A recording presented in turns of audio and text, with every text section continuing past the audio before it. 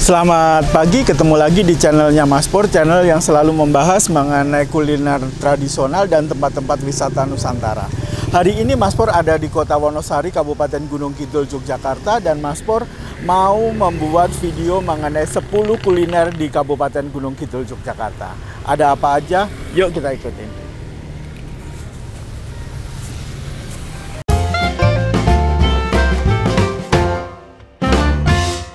Sebelum melanjutkan menonton video ini, bagi teman-teman yang baru pertama kali melihat video ini atau yang belum melakukan subscribe, tolong tekan tombol subscribe dan tekan tombol lonceng. Serta jangan lupa follow Instagram saya yaitu Joko Purnomo GK.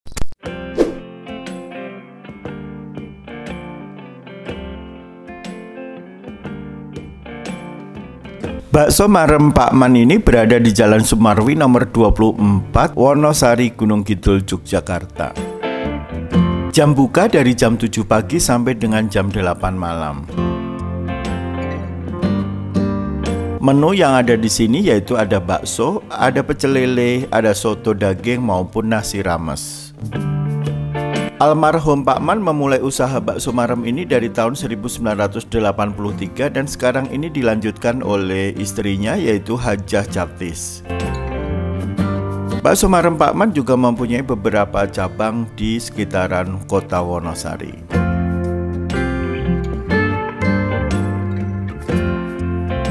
Hari ini saya memesan bakso kosongan yaitu bakso tanpa mie maupun tanpa pangsit serta bakso komplit. Bakso komplit terdiri dari bakso, tetelan, tahu, mie kuning, mie putih, seledri, bawang goreng, pangsit, dan kuah yang telah diberikan bumbu-bumbu rempah dan kondisinya panas. Isi bakso marem ini berbeda dengan bakso di tempat lain karena benar-benar komplit. Untuk baksonya sendiri, untuk bakso komplit ada 4 biji sedangkan bakso kosongan 6 biji. Lebih nikmatnya lagi adalah menikmati bakso ini masih dalam kondisi panas dan kita tambah dengan saus kecap maupun acar. Wow, benar-benar eco sangat. Harga bakso satu porsinya Rp12.000.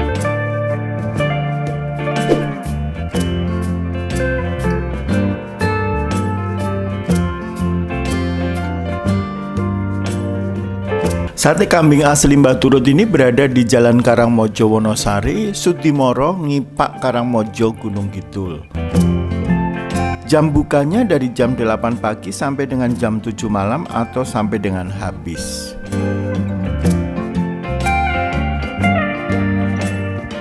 Menu utamanya ada tongseng, gulai, sate, dan minum. Sate kambing Mbah Turut ini sekarang sudah dikelola oleh generasi kedua dari Mbah Turut. Saya hari ini datang ke lokasi yang berada di Karangmojo, Gunung Kidul. Sate kambing Mbah Turut sudah terkenal di kota Wonosari sehingga ini juga salah satu yang makanan atau kuliner yang legendaris di kota Wonosari ini. Warungnya sangat sederhana dan kelihatan tradisionalnya di mana terbuat dari bambu-bambu dan kayu. Menu utama yang ada di warung ini otomatis adalah daging kambing. Dari daging kambing ini bisa diolah dengan sate, tongseng, gulai sesuai dengan selera kita masing-masing. Kita bisa melihat secara langsung proses meraciknya dan memasak daging kambing tersebut karena prosesnya di depan dari warung ini. Aroma rasa pedas dan manis bumbu sate ini ditaburin ke bawang sehingga hmm, rasanya benar-benar eco sangat. Potongan daging kambingnya pun tidak alot karena uh, masaknya lama sehingga benar-benar eco sangat. Harga satu porsinya lengkap yaitu ada tongseng ataupun nasi dan minuman yaitu Rp32.000.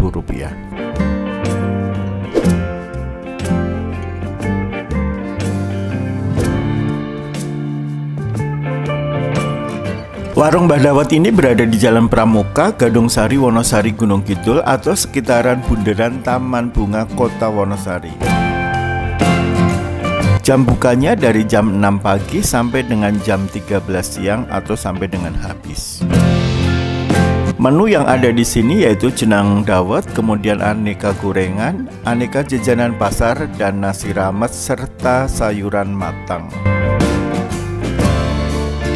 Pada tahun 1965, almarhum Ibu Kartoyatina atau orang biasa menyebut dengan Mbah Dawet mulai berjualan jenang dawet ini. Sekarang ini jenang dawet ini dikelola oleh generasi ketiga atau cucu dari Mbah Dawet. Sehingga warung ini benar-benar menjadi legendaris di kota Wonosari Gunung Kidul. Komponen dari jenang dawet ini yaitu yang pertama ada juruh atau kuah gula merah, kemudian ada jenang putih, ada jenang merah, dawet ataupun cendol, kemudian juga ada santan. Komponen itu yang menjadikan suatu jenang dawet. Kemudian dawet disajikan dengan mangkok-mangkok kecil kemudian bisa dalam bentuk masih panas maupun dingin karena diberikan es batu. Hari ini saya membawa pulang dari menu yang saya pesan tersebut.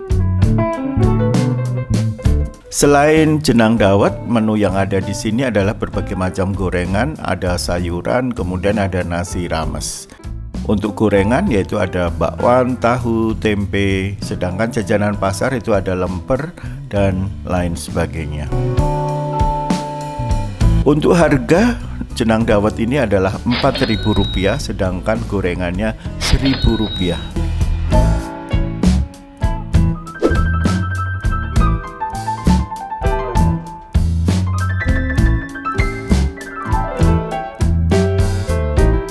Bakmi dan soto ayam goreng Mbah Noto ini berada di Jalan Yogyakarta Wonosari, Logandeng, Playan, Gunung Kidul.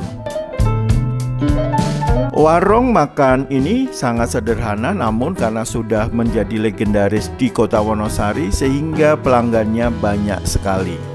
Uniknya, pengelola ini dikelola oleh kakak beradik, di mana jam bukanya untuk pagi hari jam 5 sampai dengan jam 2 siang di mana menunya adalah ayam goreng dengan soto.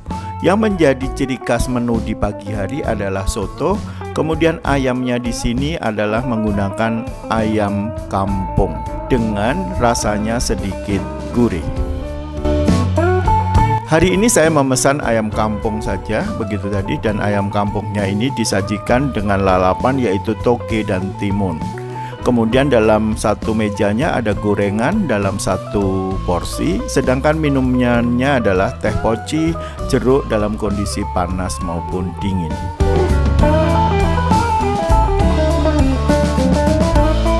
Harga ayam gorengnya adalah Rp18.000 dan nasinya Rp7.000, sedangkan kepala ayam Rp13.000. Kemudian jam 4 sampai dan jam 9 malam ini membuka lagi dengan menu utama adalah bakmi dan ayam goreng. Ayam goreng pada sore hari ini rasanya sedikit manis, sedangkan untuk pagi hari rasanya gurih. Minumannya juga sama, teh poci jeruk dalam kondisi panas maupun dingin. Sedangkan untuk bakmi Jawanya di sini bisa uh, untuk godok maupun goreng. Hari ini saya kembali memesan ayam sehingga saya bisa membedakan rasa ayam gorengnya Mbah Noto dalam kondisi pagi maupun sore.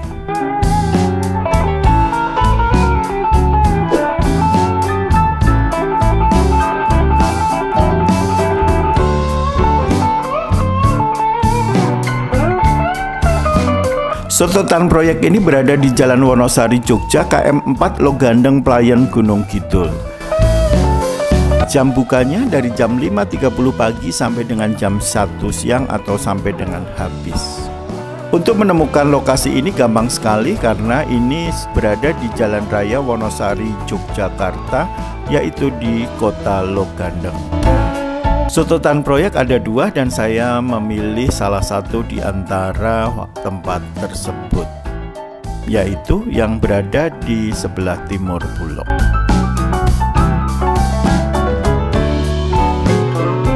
Saya hari ini memesan soto campur maupun soto dengan nasi yang terpisah.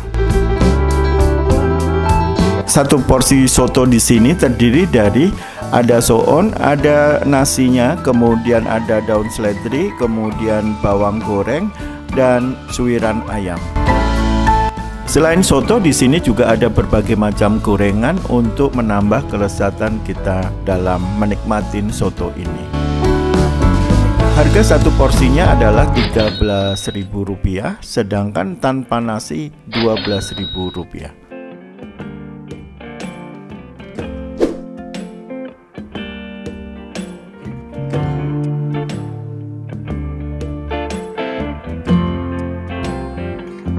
Puli tempe Proliman Ponjong ini berada di Proliman Gejahan Ponjong Gunung Kidul.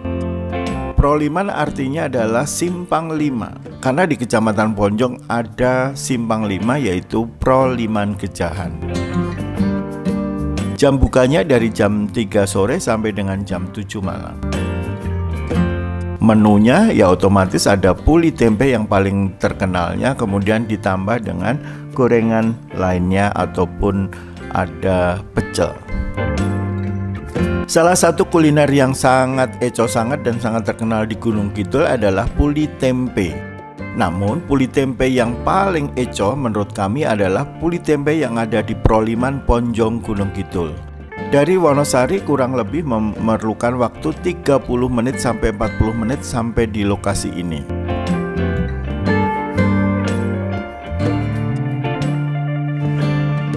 Puli adalah nasi yang ditumbuk secara halus kemudian diberikan obat tertentu dan ini diaduk kemudian menjadi halus. Di tempat lain puli bisa disebut juga dengan gendar, namun gendar biasanya masih agak sedikit kurang halus. Dan paling cocoknya adalah puli ini dimakan bersamaan dengan tempe maupun tahu dan rasanya benar-benar oke banget. Di lokasi Proliman Ponjong Gunung Kidul ini ada tiga penjual yang berjualan puli tempe dan sudah sangat terkenal yaitu ada Mbah Tomejo yang kedua ada Ibu Ikan atau Ibu Sukira dan yang terakhir adalah Mbak Yuli. Mereka berjualan sama yaitu dari jam 3 sore sampai dengan jam 6 atau jam 7 malam. Menu utama adalah puli tempe. Hari ini saya membeli Rp5.000 untuk satu porsinya. Membelinya itu terserah dari kita bisa 5000 bisa 10000 Tapi saya karena mencoba saya belinya 5000 Harga puril tempe adalah disesuaikan dengan kita. Kita bisa membeli Rp5.000 maupun Rp10.000 untuk satu porsi. Ini sudah kita sudah mendapatkan adalah tahu, uh, puli dan tempe. Sedangkan untuk gorengan harganya Rp1.000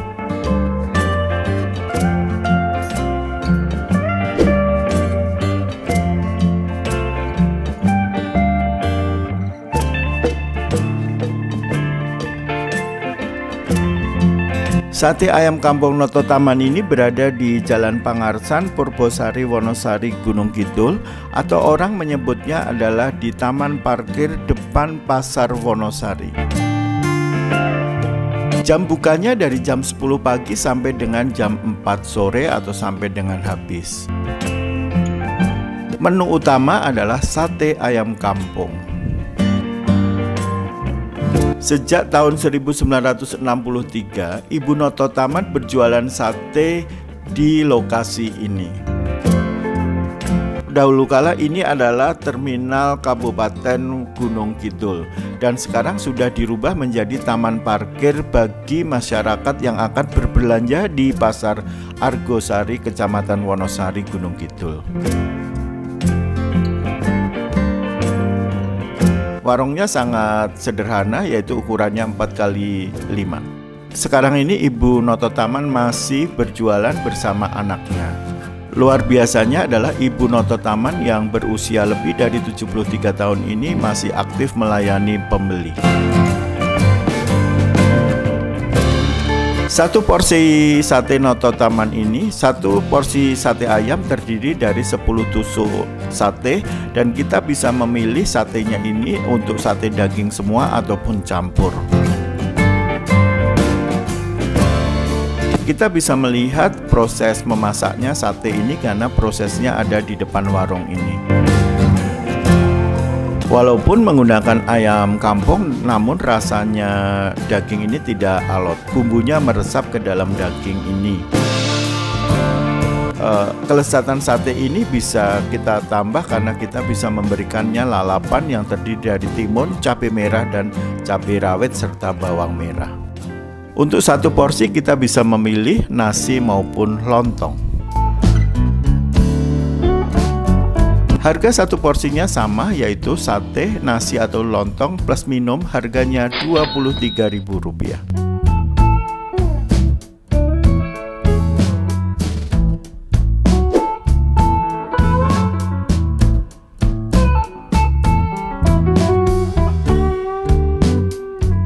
Tiwol Yujum ini berada di Jalan Pramuka nomor 36 Pandansari Wonosari Gunung Kidul. Selama PPKM ini jam bukanya dari jam 7 pagi sampai dengan jam 7 malam.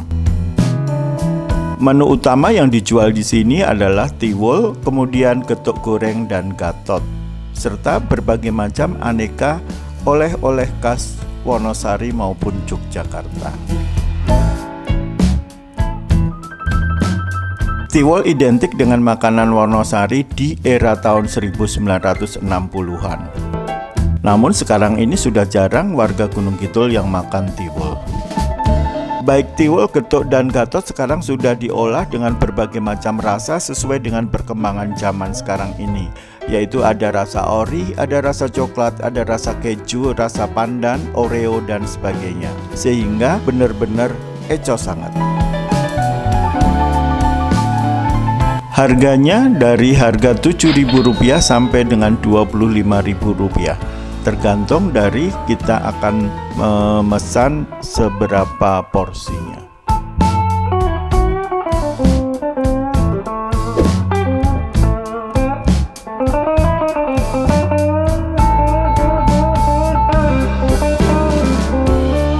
Bakmi Jawa Piaman Lekmur ini berada di Jalan Lingkar Luar Kemorosari, Piaman Wonosari Gunung Kidul, tepatnya di depan Rumah Sakit PKU Piaman Wonosari. Jam bukanya dari jam 5 sore sampai dengan jam 11 malam. Menu utama otomatis adalah mie Jawa yaitu baik uh, rebus maupun goreng.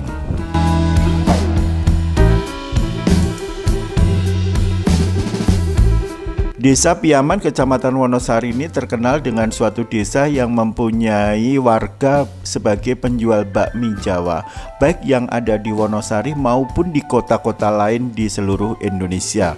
Banyak yang berjualan bakmi yang ada di Jakarta, Bekasi, Tangerang, Semarang, Surabaya, Solo, dan sebagainya.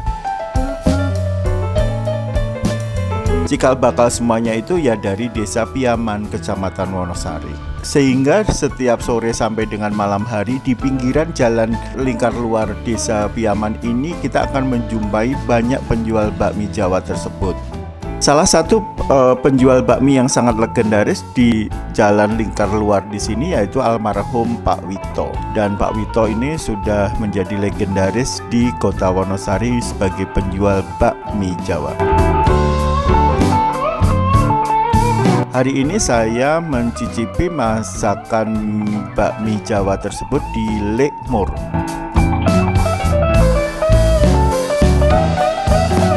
Lekmor dulu sebagai karyawannya dari Pak Wito sehingga rasanya dari mie ini adalah tidak berbeda jauh dengan mie Pak Wito.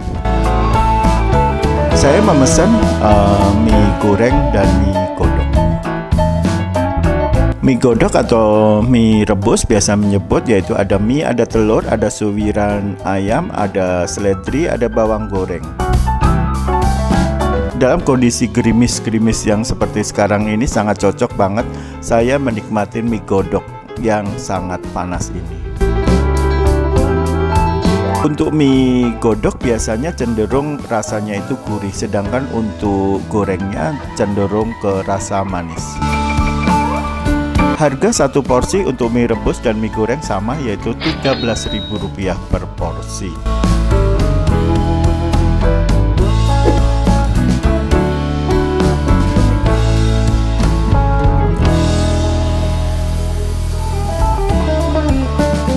Warung nasi merah Parigogo ini berada di Jalan Raya Wonosari Semanu, Kecamatan Semanu, Gunung Kidul, Yogyakarta. Atau orang biasa menyebutnya adalah di seberang dari jembatan Jirak Semanu Gunung Kidul. Jam bukanya dari jam 6 pagi sampai dengan jam 4 sore dalam kondisi sekarang ini. Warung nasi merah Parigogo ini sudah ada dari tahun 1965 dan sekarang dikelola oleh generasi ketiga.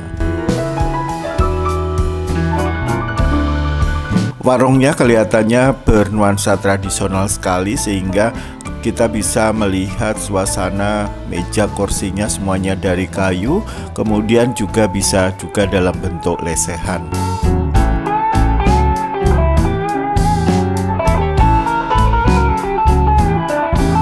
Pada saat kita datang nanti kita tidak perlu memesan menu tapi langsung dihidangkan makanan yang ada di warung ini. Menu yang dihidangkan di meja kita yaitu ada daging atau empal, kemudian ada sayur lombok hijau, kemudian ada jeruan bacem itu ada usus, ada babat, kemudian ada wader goreng, kemudian ada ayam, kemudian ada sayur dayun pepaya, kemudian nasi merah. Nasi merahnya di sini benar-benar terlihat yang pulen dan enak sangat. Kemudian dagingnya juga lembut dan manis.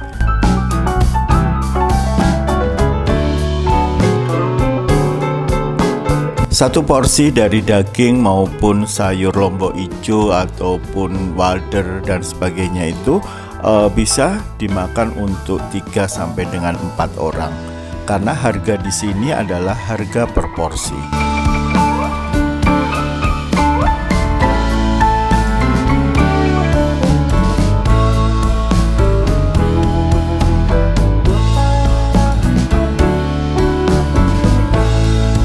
Harga untuk daging yaitu uh, dalam satu porsi Rp45.000, kemudian babat plus iso Rp30.000, terancam Rp5.000, brongkos Rp20.000, wader Rp17.000 sedangkan untuk minuman berbagai macam minuman Rp5.000.